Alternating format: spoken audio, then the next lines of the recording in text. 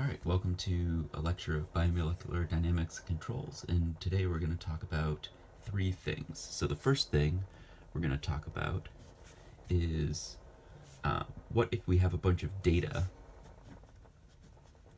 and that data has a bunch of paired measurements of concentration of substrate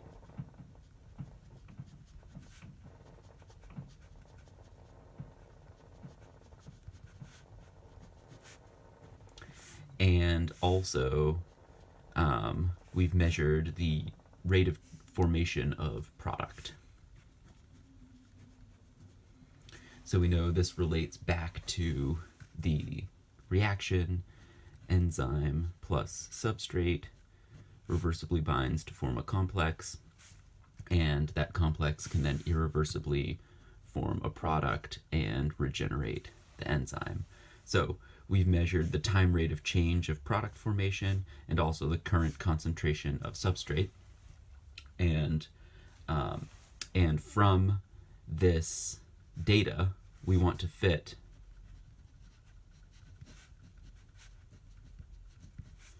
we want to fit a um, Michaelis constant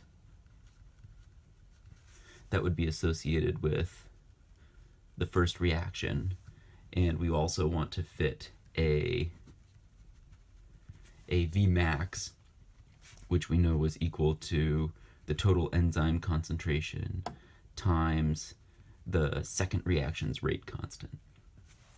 So we basically, um, we have a bunch of S's and the corresponding dPdTs that are associated with this reaction, and we want to fit to it the Michaelis constant and the max velocity, which is whatever the dPdt would be in the limit of um, in the in the limit of uh, excessive substrate. The second thing we're going to talk about today is we're going to take a step back and we're going to only look at like a reaction that is similar to just the first part of that reaction.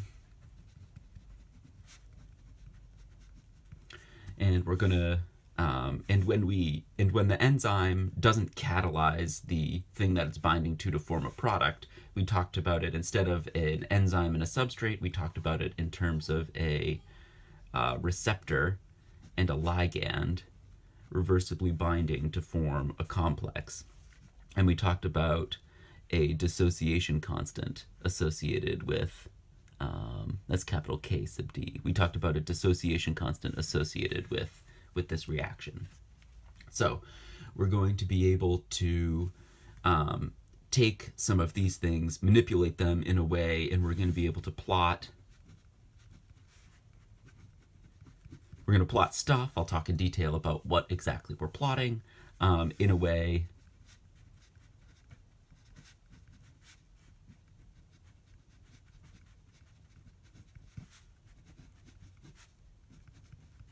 in a way that we can more easily get the dissociation constant than having the dissociation constant kind of buried in a bunch of chemical reactions. The final thing we're going to talk about is what if we have a receptor and a ligand binding, but for example, our receptor is a little bit funky and has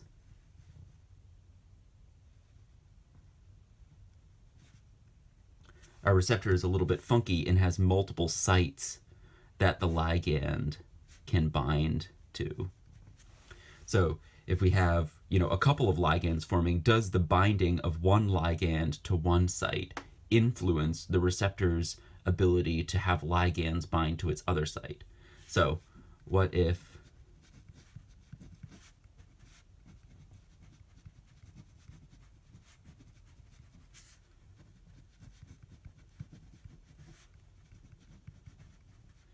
What if a receptor has multiple sites?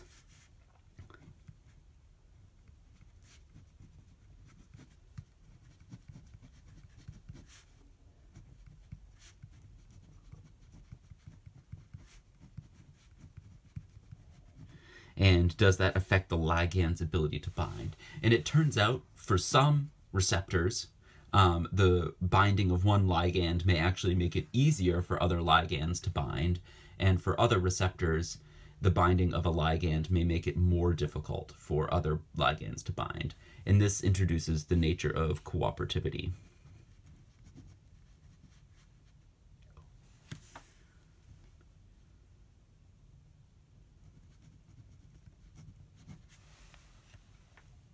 Okay, so let's get started on this first point here, where we have a bunch of data. We have paired measurements of dPdt and uh, substrate concentration, and we want to uh, manipulate our expression uh, that relates dPdt and S in order to more easily extract um, the Michaelis constant and the max, um, the max rate of dPdt.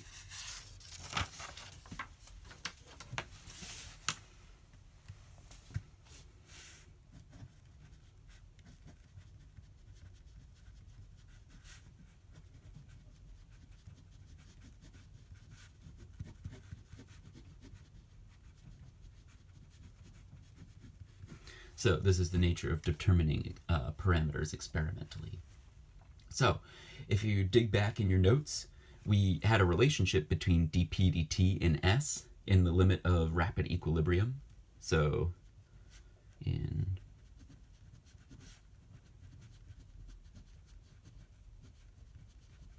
in rapid equilibrium, we had dp dt was equal to um, k2 times E naught times S divided by Km prime plus S, where S was the concentration of substrate, E naught is the total concentration of all enzymes, either bound or unbound.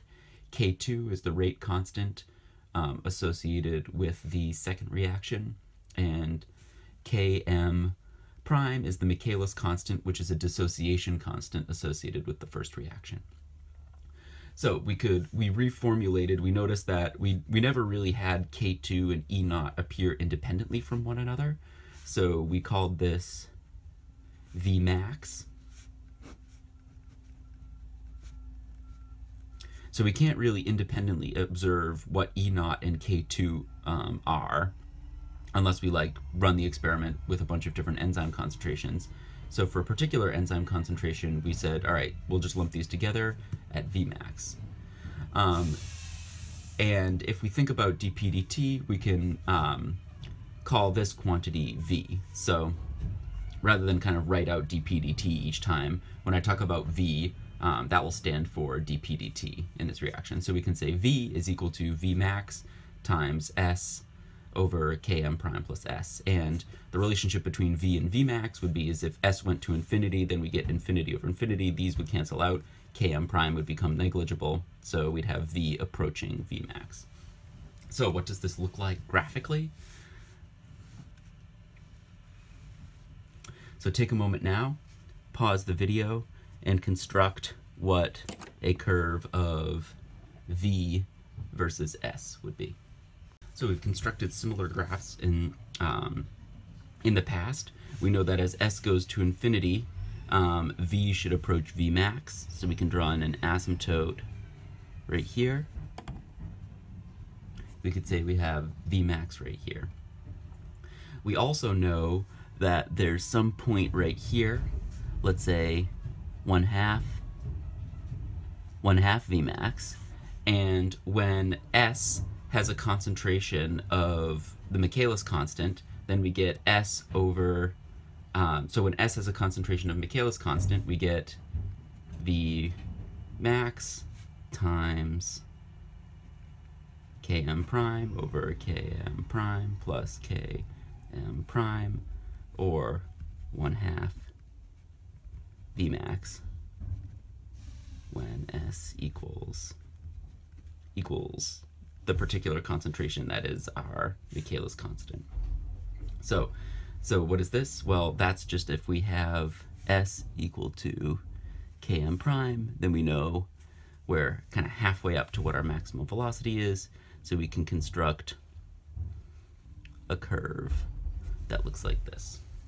So a lot of times experimentally, we can't have we can't measure every possible concentration of substrate here. So what we do is we just get a bunch of points and maybe those points have some noise, something like that. But if we get a broad range of S's and the corresponding V's that go to them, hopefully we can fit some curve that goes through them. And once we fit this curve, that curve will have associated with it the parameters km prime and vmax. Okay, so we do an experiment.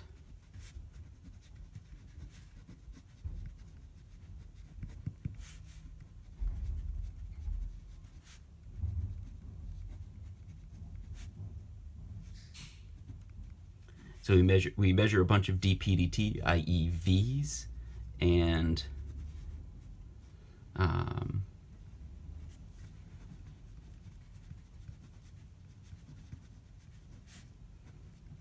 and the corresponding S's, and those are all of these red points that we could trace out um, on the plot here. But there might be a couple of tricky things associated with this experiment. So thing number one might be um, with noise or if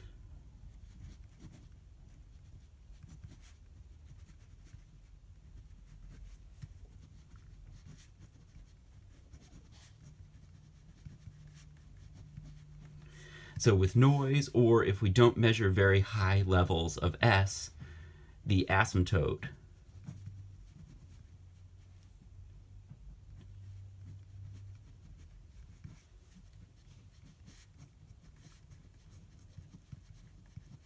the asymptote may not be obvious. So for example, if we only had this part of the curve, we know there might be enough data to sort of predict where that curve is asymptoting to, but we might not be able to precisely quantitatively infer what it is, for example, um, as compared to if we had data that went all the way out, um, such that the curve really did approach Vmax. So, um, so we want a way to be able to maybe guess what Vmax might be, even if the curve didn't go all the way there. Another um, another drawback is if there's noise, we might have a bunch of um, dPdTs that are sort of bouncing up and down and kind of hovering around this value, but it might not be uh, obvious which one of those is exactly Vmax, or really if any of those are. So we want a way to basically take a bunch of measurements and combine them all together over the whole range of S's that we have in order to infer a good value for Km and a good value for K uh, for uh, Vmax, for Vmax. All right, but what's the tricky thing about that process? Well, we have we have a bunch of V's and we have a bunch of corresponding S's, but Vmax and Km are buried inside of this nonlinear relationship. And it might not be, um, we can't necessarily algebraically solve for them very easily. Or, um, and even if we did, how would we incorporate those values for all of the points to sort of take take into account all of the data that we have to to give constructive measurements for for Vmax and Km prime. So how do we how do we take into account all of the data to get one estimate for Vmax and one estimate for Km, and how do we do so when they're buried in this kind of nonlinear relationship? Well, um, the first thing that we could do, so um, the first thing that we could do is we could just do nonlinear curve fitting.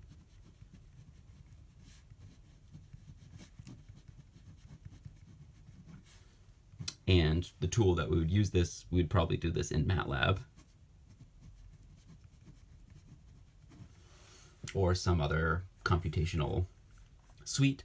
And this is actually really the best way to do it. Um, but uh, we can sometimes do an alternative strategy where we can um,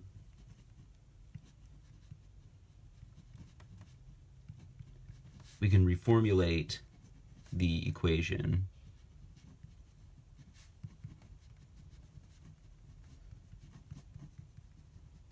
where we can reformulate the equation to make it linear. So this is what I'm going to talk about um, during lecture today and this will give us some intuitions about um, about how uh, how V and S affect or how measurements of V and S affect Vmax and Km. And your homework will involve uh, both this and the nonlinear curve fitting to extract a Vmax and Km. Okay, so let's proceed with uh, the second option here, where we can reformulate the equation to make it linear. So we have the equation V equals V max times concentration of substrate over Michaelis constant plus concentration of substrate. So um, is there a way that we can manipulate this equation to sort of uh, unbury this nonlinearity to kind of um, tease things apart to get something in the form of y equals mx plus b, where y is related to our measurements of uh, dpdt or v, and x is related to our measurements of s. And once we have them in this linear form, then we can do um,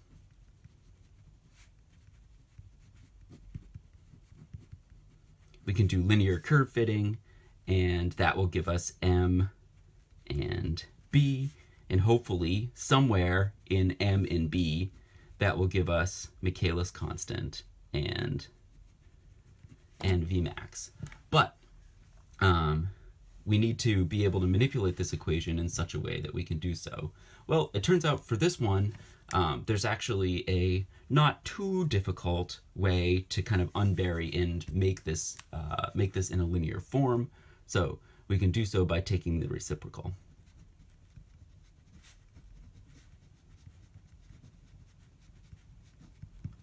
So take a moment now, pause the video. Um, the left-hand side would of course look like 1 over v equals something. Um, take a moment now to pause the video and reformulate what the right-hand side would look. And see if you can get it in a form where you have slope and intercept in terms of Vmax and Km, and then x would be related to s. All right, so let's work it out. We can have, if we take the reciprocal of the left-hand side, we can take the reciprocal of the right-hand side too. Then we'd have Km prime plus S over Vmax times S. This would be Km prime over Vmax times S plus S over Vmax times S, which we could further simplify to Km prime over Vmax times 1 over S plus 1 over Vmax. And if we look at this, then we could know note that M might just be this thing here. So if we um, have the slope of the 1 over V versus 1 over S curve would be this quantity. And then if we look at um, what happens when 1 over s is 0, that would be like the y-intercept. And that would basically be what b is up here. So this gives us a relation. So if we plot, instead of a relationship between v and s, if we plot what 1 over v looks like as a function of 1 over s, this should be 1 over v versus 1 over s should be linear. And anytime you have a linear relationship, you could do a linear curve fit, and with a linear curve fit, we can very easily get an m and a b. Once we have an m and a b, it's not too hard to see how b would basically almost directly give us vmax, and then once we have vmax and m, then that would give us everything we need to figure out the Michaelis constant. All right, so where does that get us? Well, we know that a plot of 1 over v versus 1 over s should be linear. So now let's take a look at um, what that plot actually might look like. So we have 1 over v on the y-axis, 1 over s on the x-axis. Um, we're not really too, for the most part, we're not really too interested in what's going on over here because that would imply that we have a negative concentration, nor are we interested in what's going down here because that would imply that product is being consumed rather than being created. So we're mostly interested in what's going on in the uh, in the upper right quadrant. Um, where might the uh, so we, will we'll think now. Now the question is, does it intercept the y axis or does it intercept the x-axis? Well, let's think about it. What happens when 1 over s goes to 0? Well, when 1 over s goes to 0, that would imply what happens to s? s goes to infinity when 1 over s goes to 0. So what must 1 over v be when 1 over s goes to 0? Well, that must be um, 1 over v must be 1 over v max at that case. And we can see that in the relationship up here. If 1 over s is our x, is what's on our x-axis right here, then when this is 0, then 1 over v must be 1 over v max. And what's the slope of this thing going to be? Well, km and vmax are both positive quantities, so that means the slope must be positive. So we'll get a curve that looks like that. Now, what might the, the data points actually look like? Well, we're never going to get all the way down to 1 over s going to 0, so we're going to be close, but we're going to have data points that look like that. So when we fit a line through our data points, then we'll be able to infer Vmax from this, and we'll also be able to infer, we'll know what the slope is from our fit line, and that slope will be km prime over.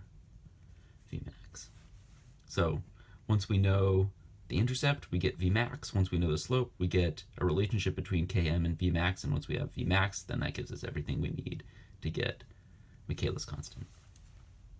All right, so this is great, right? We have we have a way that if we have a bunch of s's and v's, we could compute pretty easily what the 1 over s's and the 1 over v's would be. Keep in mind v is dp dt, so this would be 1 over dp dt that we measure. We plot them. It should be linear. Um, we could then fit a line to it, when we fit a line to it, that gives us Michaelis constant and Vmax. So this is great, um, but this has utility beyond just giving a Km and a Vmax. This allows us to analyze in a quantitative way uh, what happens when initiators are present, or sorry, when inhibitors are present.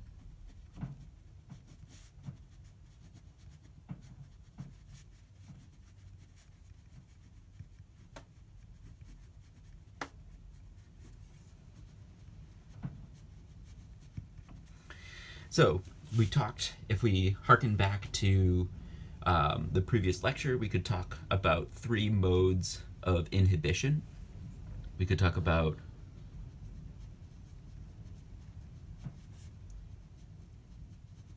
We could talk about competitive inhibition. We could talk about uncompetitive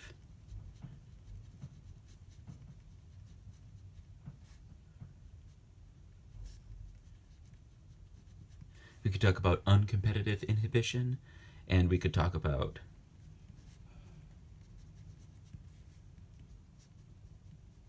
and we could talk about non-competitive inhibition. And there were different implications for each mode of inhibition and what the effect would be on our observed Vmax and our observed Michaelis constant. So, um, so what happens when initiator when uh, sorry when inhibitors are present? Well, inhibitors are present, then we still get some relationship between our observed dp dt or our observed v and s. So it's still something of the form of something times s over something plus s, but instead we get a v max observed, that's v max observed, and we also get a km we get a km observed. And these observed values may indeed be the same as whatever there would be if there were no uh, inhibitor present, but if um, if there is a, some amount of inhibitor present, then Vmax and Michaelis constant might be altered uh, depending on what the concentration of inhibitor is. So these two things can uh, differ from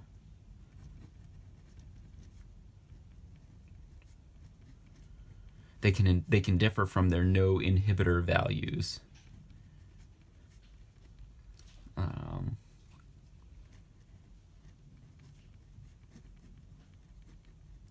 by a factor of 1 over 1 plus concentration of inhibitor over the um, the dissociation constant associated with the inhibitor. Sorry, this is um, that's k sub i right here. So Vmax might uh, might be uh, fact scaled by this factor or Km might also be scaled down. So as inhibitor, as concentration of inhibitor increases, then maybe Vmax decreases, maybe Km decreases, or may, maybe they both decrease um, in the same way. And that depends on what mode of inhibition we have. So if you dig back in your notes or look at the solution to the homework, we can um, we actually developed algebraic relationships between what the concentration of inhibitor would be and what the observed Vmax would be and what the observed Michaelis constant would be. So for competitive inhibition, an increase in I causes an increase in our observed Km, but no no change to V to Vmax. For uncompetitive inhibition, an increase in the concentration of inhibitor caused a decrease in Michaelis constant and a decrease in and a decrease in Vmax. For non-competitive inhibition, an increase in, uh, in inhibitor concentration caused no change to Km, but it caused a decrease to a decrease to Vmax. All right, so with these changes in mind, we can now figure out what the effect of inhibitor would be on what this plot would look like. So do, how do these plots change from their no inhibitor counterparts um, in the presence of inhibitor? So I'll move this up here so we can keep track of this stuff. And we can sketch out three different cases. So sketch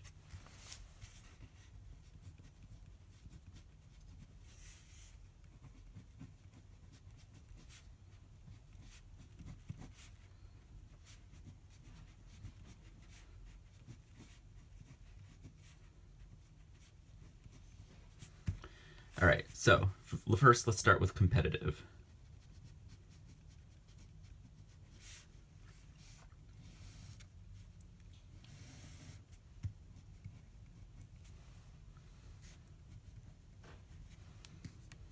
And we'll first draw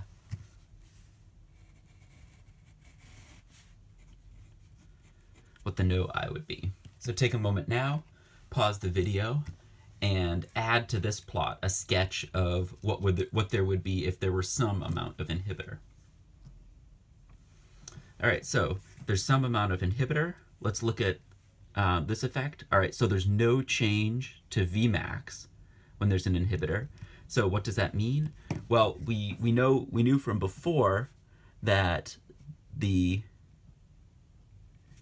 uh, y-intercept was 1 over Vmax, so if there's no change to Vmax with competitive inhibition, then they gotta have the same y-intercept. However, if we know that Km increases, then that means that the slope has also got to increase. So, So some amount of inhibitor would cause the curve to shift like this. So what does a what does a higher curve mean? Well, if we for the same amount of substrate get higher values of 1 over v, then that's lower values of what v would be. So if we move up in this direction, then that's a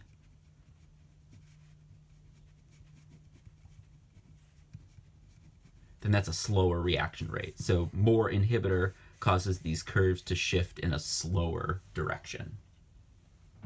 All right, what's next on the menu? Well, what's next on the menu is uncompetitive inhibition.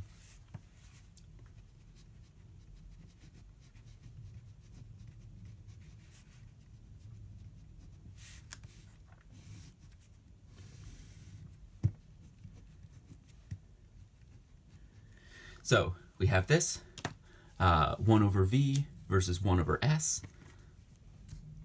And we'll start off with some no inhibitor present curve and add to this curve a sketch of what it would be uh, like if we added some inhibitor. So when we add some inhibitor, the curves end up looking like this. And what's what's the deal with that, right? So the key thing here is that these curves have the same they have the same slope um, but a different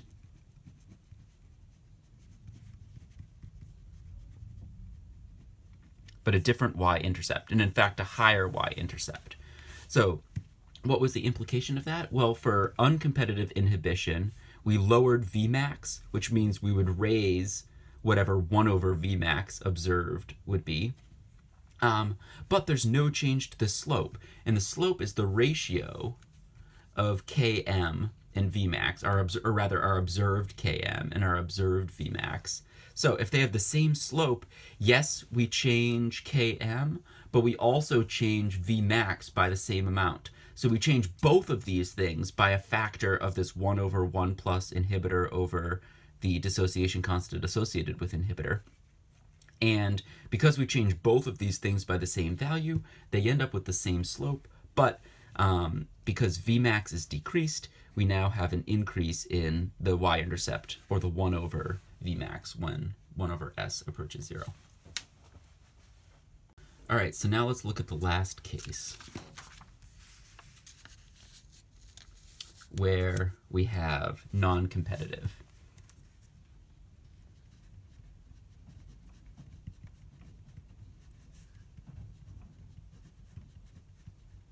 Where we have non-competitive inhibition. So, as before, we'll have a, uh, a sketch of 1 over v versus 1 over s.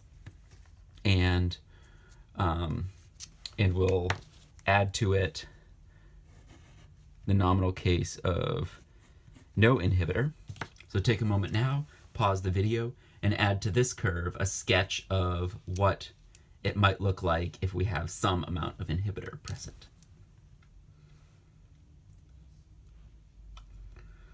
All right, so this is a little trickier. Um, we have no change to Michaelis constant, but we have a we have a decrease in Vmax. So if we have a decrease in Vmax, then we know we got to have a higher y-intercept. But if there's no change to Km and a, and a decrease to Vmax, then that means we increase the y-intercept, but we also increase the slope. So we increase y, and we also increase slope. So what's that going to look like?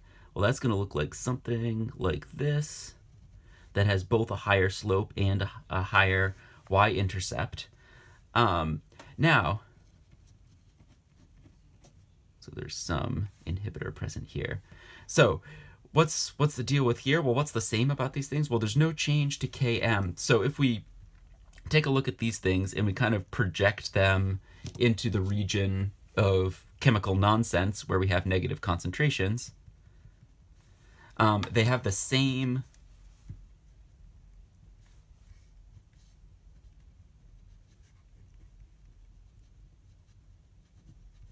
they have the same x-intercept. And what is this x-intercept? Well, if you if you do out the algebra, the x-intercept is at um, negative 1 over is at negative 1 over Michaelis constant.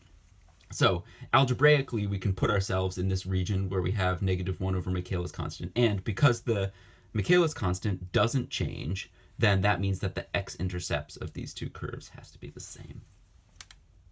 All right, so I sort of hinted earlier that this is a way to interpret quantitatively what the effect of um, substrate is on the time rate of change of product formation.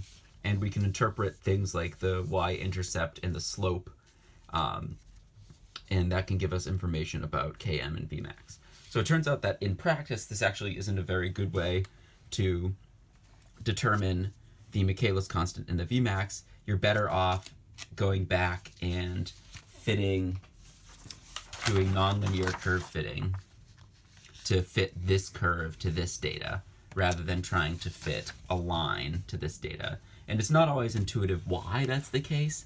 The reason is the linear fit is very sensitive to these last couple of points out here. And if you have noise on these last couple of points out here, that can very heavily influence what the slope and what the y-intercept of these values are. So because we want to avoid large sensitivity to just a couple of points and the noise associated with those couple of points, it's better off to fit a non a curve nonlinearly in this original space if we can of v versus s rather than this kind of goofy space of 1 over v versus 1 over s. And the homework that you'll be doing will end up uh, you'll end up exploring kind of what those differences are and how to actually implement given some actual data of v and s how to get um, some quantitative estimates for Michaelis constant and Vmax from that data using both the um, linear method and the nonlinear method. This non um, this method where we plot one over v and one over s is known as a is known as a Lineweaver Burk plot. So when you construct a, a plot of 1 over v versus 1 over s, that is a Lineweaver-Burk plot. Okay, so now we're going to change gears a little bit, and we're going to move on to the second point that we talked about um, in the intro to this class. So we talked about, we just talked about how if you have data and you have paired measurements of substrate concentration and rate of product formation for this reaction, how we can fit Michaelis constant and Vmax to that data. So we just talked about that.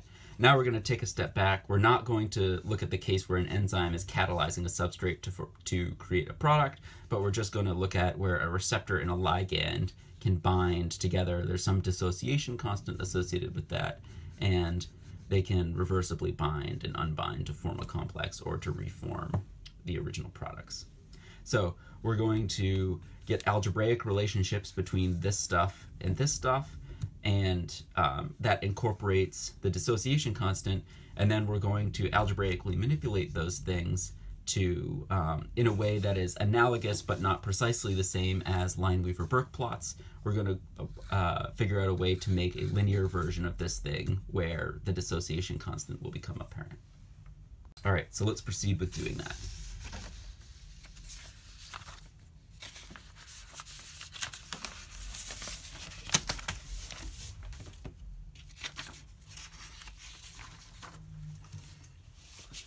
So we're taking a step back. We're returning to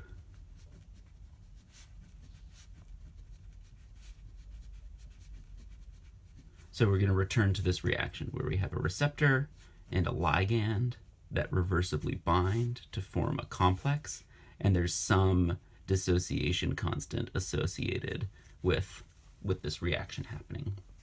So um, we know in equilibrium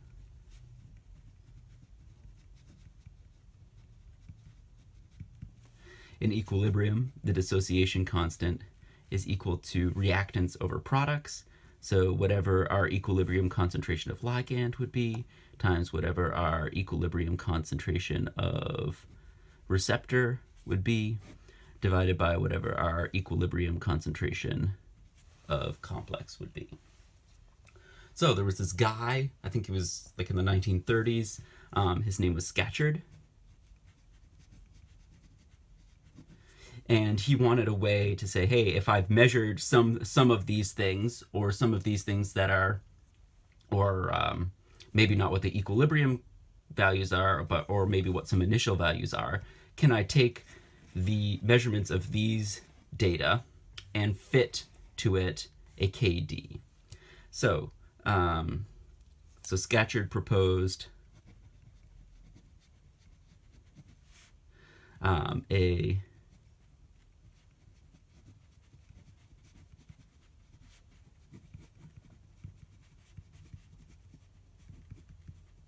he proposed a manipulation of this equation and that would yield basically 1 over kd from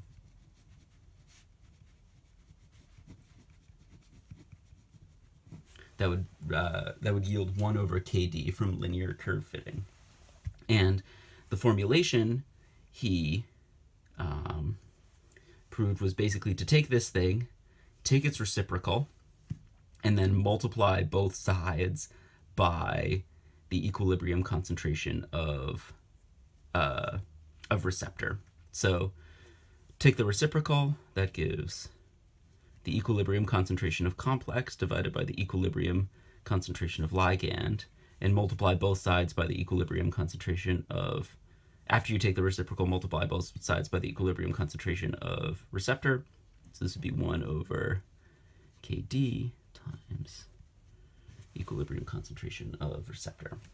Sometimes it's hard to measure what the equilibrium concentration of receptor is, so we can reformulate um, equilibrium concentration of receptor in terms of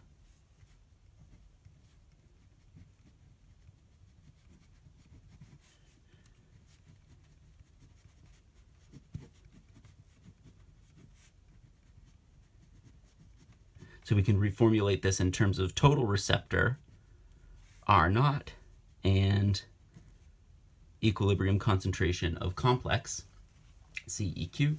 And how would we do that?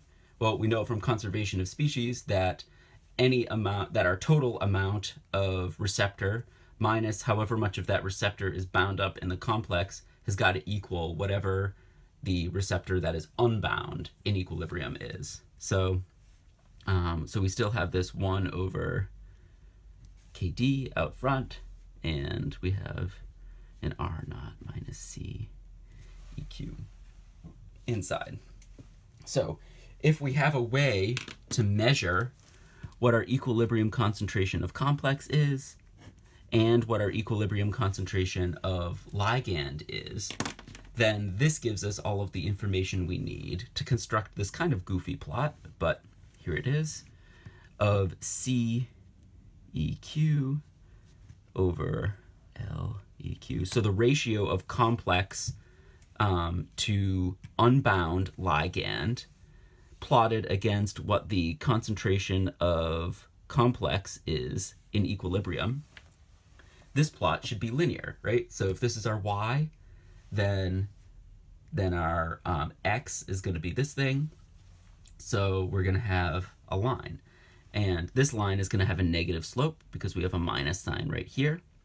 So we're going to end up with something like this. So take a moment now. What is the slope of this? well the slope should just should be 1 over kd, or rather negative 1 over kd. And what's the y-intercept? Well, the y-intercept would be up here, and this would just be r naught over kd. So if we have, so presumably we would know the initial concentration of receptor, but we might not. Um, so by knowing either the slope of this curve or the y-intercept of this curve, and knowing the initial concentration of receptor, that gives us all of the information we need to figure out what the dissociation constant for this system is. So for example, if we had a bunch of a bunch of data points and we knew what the concentration of complex was for each of these data points and also what the comp, um, what the equilibrium concentration of unbound ligand was, we could reconstruct whatever this y was and we could plot this thing versus this thing, fit a line through it, and that would give us all the information we need to figure out dissociation constant. So this was a strategy that people did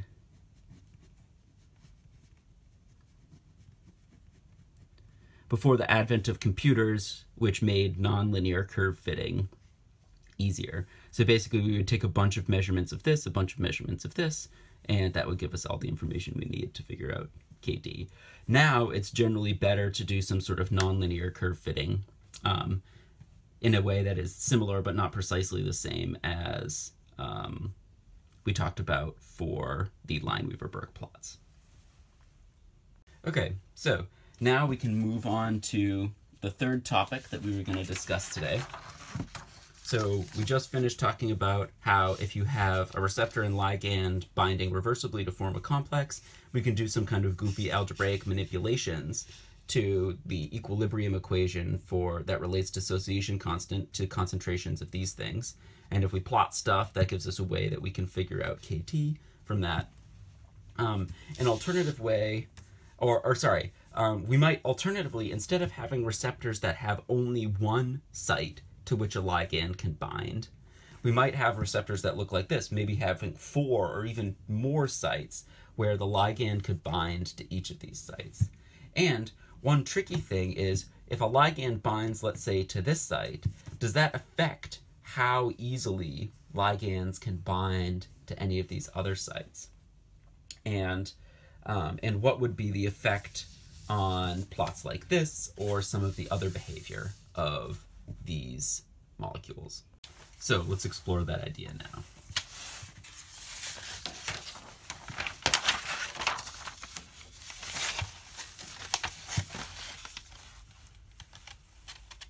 So what if a receptor has multiple sites to which ligands can bind, and those sites could potentially affect the binding of one another? Well, just talking about a single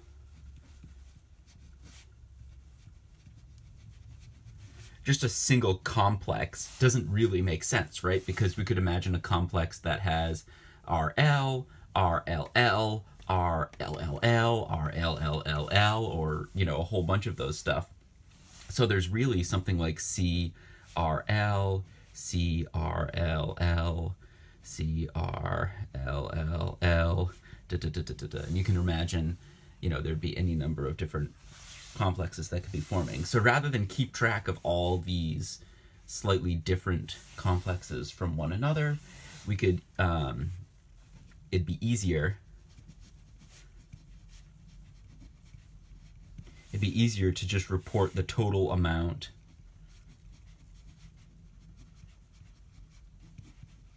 of ligand of ligand bound. So L bound would be something like CRL plus 2 times CRLL because there's two ligands in this complex plus 3 CRLLL plus da, da, da, and you can imagine how we could continue this expression. So here we sort of only have one thing to keep track of, and it might be difficult to measure the differences between, you know, it might be difficult to measure RLL versus RL if these things don't behave too differently from one another or something like that. Whereas now we can just keep track of how much ligand um, is bound to any receptor. So with that in mind, we can modify the Scatchard equation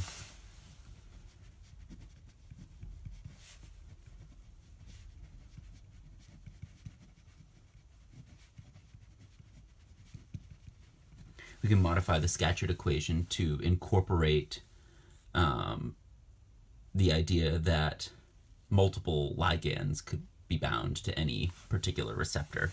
So with that in mind, it becomes L bound, which is related to the which is the number of ligands in any uh, complex, divided by L, which is the free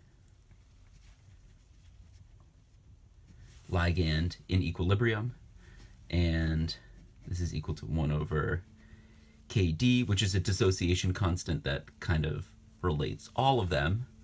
Um, and we could also have r naught minus L bound, but this r naught needs to be scaled because there are um, multiple sites that could exist on each receptor. So instead of r naught, we could say the number of sites per receptor times r naught, where ns is the number of sites per receptor. So if we plot um, the ligand that is bound in ratio to the amount of ligand that is free and compare that and plot that against the the number of sites per receptor times the number of receptors, which is basically like the total number of things that could be occupied at all, minus the amount of ligand that's bound to any particular receptor. then the slope of these things would be 1 over kd. So, um, but just this equation in itself doesn't really reveal how um, how one ligand binding could affect others binding. So our idea is how can we describe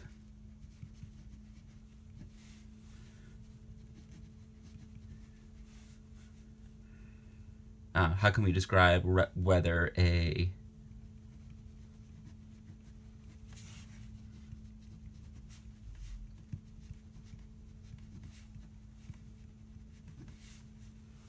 how can we describe whether a receptor with a ligand bound um, has more or less affinity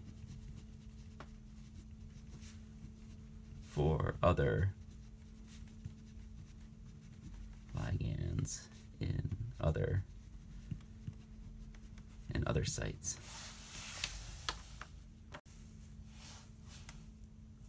So to analyze this, we're actually going to bring up something that is similar but not precisely the same as the Langmuir isotherm that we brought up earlier. And this, instead of having the quantity theta that described um, how what the fraction of occup or what fraction of occupied sites there were. Instead, we're going to have this quantity y bar which is equal to the concentration of bound sites divided by the concentration of bound sites plus the concentration of unbound sites.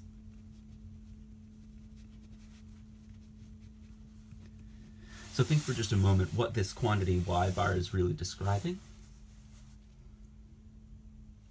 So what Y bar is really describing is the fraction of total possible sites that a ligand would be bound um, versus the number of uh, sites that are occupied. So it's really like of all the sites that could be occupied, how many sites are actually occupied.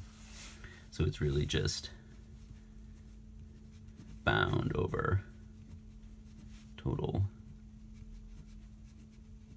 bound over total available. And this quantity um, is similar to theta that we used in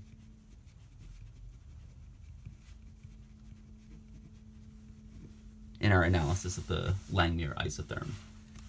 So, what does um, so what what might we be interested in plotting? Well, when we plotted theta uh, for the Langmuir isotherm, one of the most interesting plots is theta versus concentration of ligands. So let's see what that might look like um, for cases like this. So we might be interested in instead of plotting theta versus concentration of ligand, we'd still have concentration of ligand on the x-axis here, but instead we'd have y bar. And we might, um, in some cases, the what would be the ultimate limit that y bar could be? Well, the limit for what y bar could be is if we had no unbound sites, if all of the sites were bound, then y bar would approach 1. If there's no ligand, then we would have no bound sites and everything would be unbound, so we'd start at 0. And just as we noticed in some cases, for some multi-site receptors, we'll get something that looks just like what we had for the Langmuir, for the Langmuir isotherm. But sometimes what we observe is this kind of tricky case where um, the concentration doesn't rise very quickly with the amount of ligand that we have until we reach some kind of key amount and then it rises quickly and then it kind of tapers off again. And then sometimes we also notice that we get something that rises even faster at the beginning, but then it kind of slows down and it takes really much more ligand to really fill up those last couple of sites than it would for um, for some other cases. So we'll explore quantitatively why these curves might be the way they are. So in the past, when we had just one site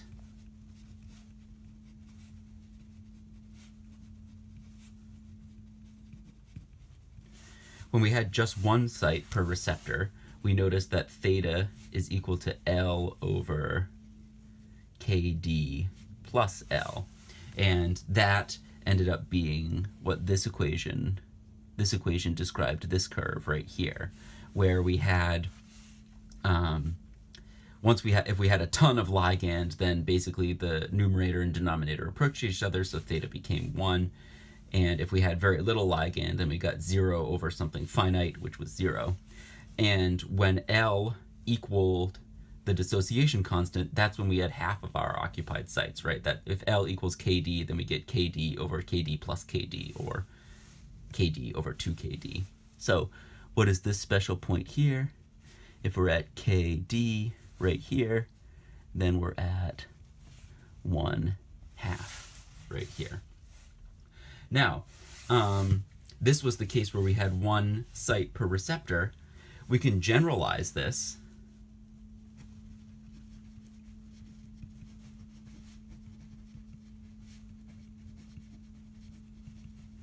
we can generalize this equation to a more fancy version of this equation that is able to capture all three of these behaviors. And this general form of the equation is known as the Hill equation.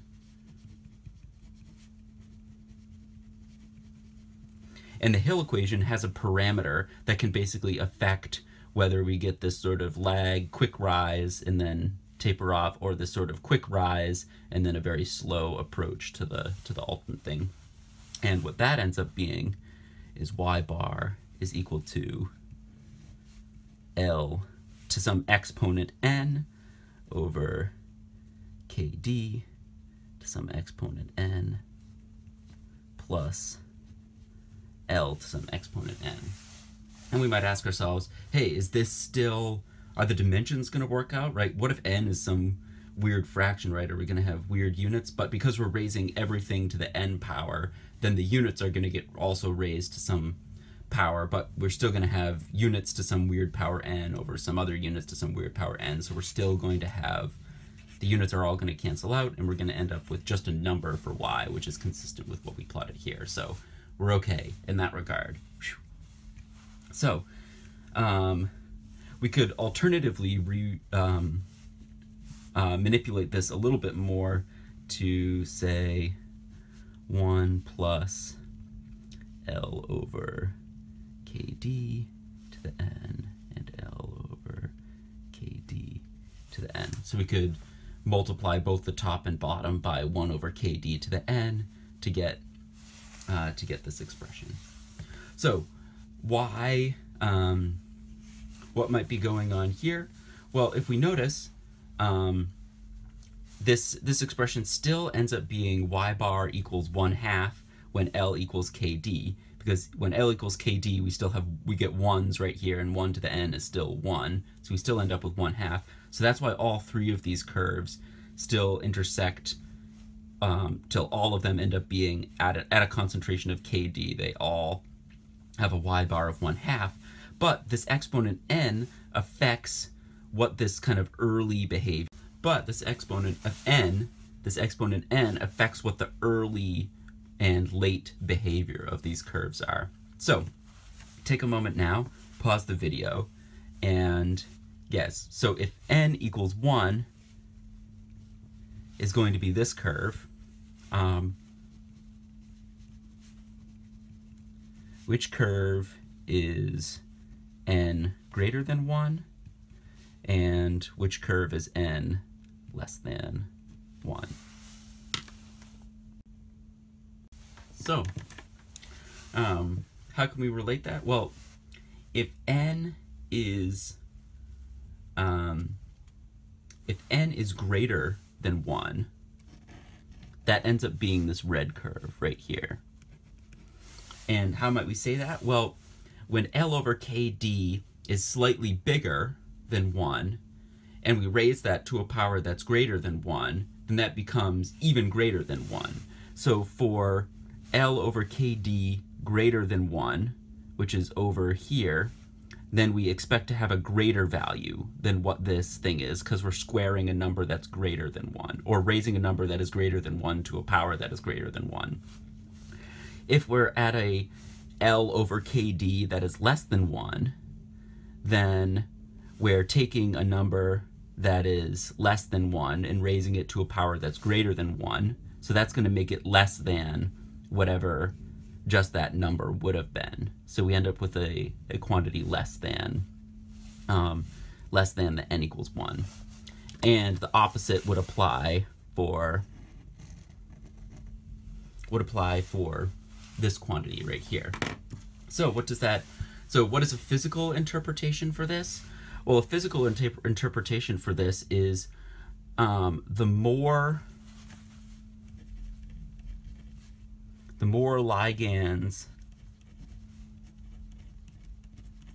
the more ligands bound, then that increases that increases affinity. So uh, if we don't have any ligands bound, it's actually really hard to get those first couple of ligands bound. But then once we start getting some ligands bound, then more and more and more ligand can bound until we start occupying all of the possible sites. And then at that point, we've, you know, we got to taper this off because we're saturating things at that point. Conversely, um, this one would be more more ligand bound decreases.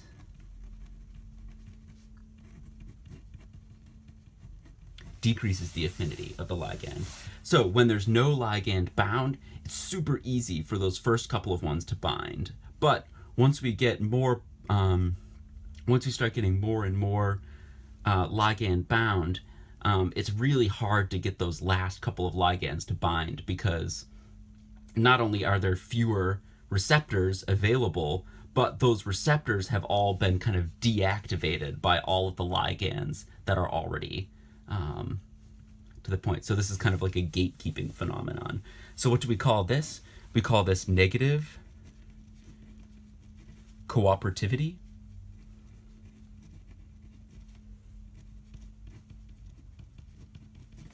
And we call the case where n is greater than 1, we call that positive cooperativity. And we can interpret um, negative and positive cooperativity in the context of Scatchard plots as well.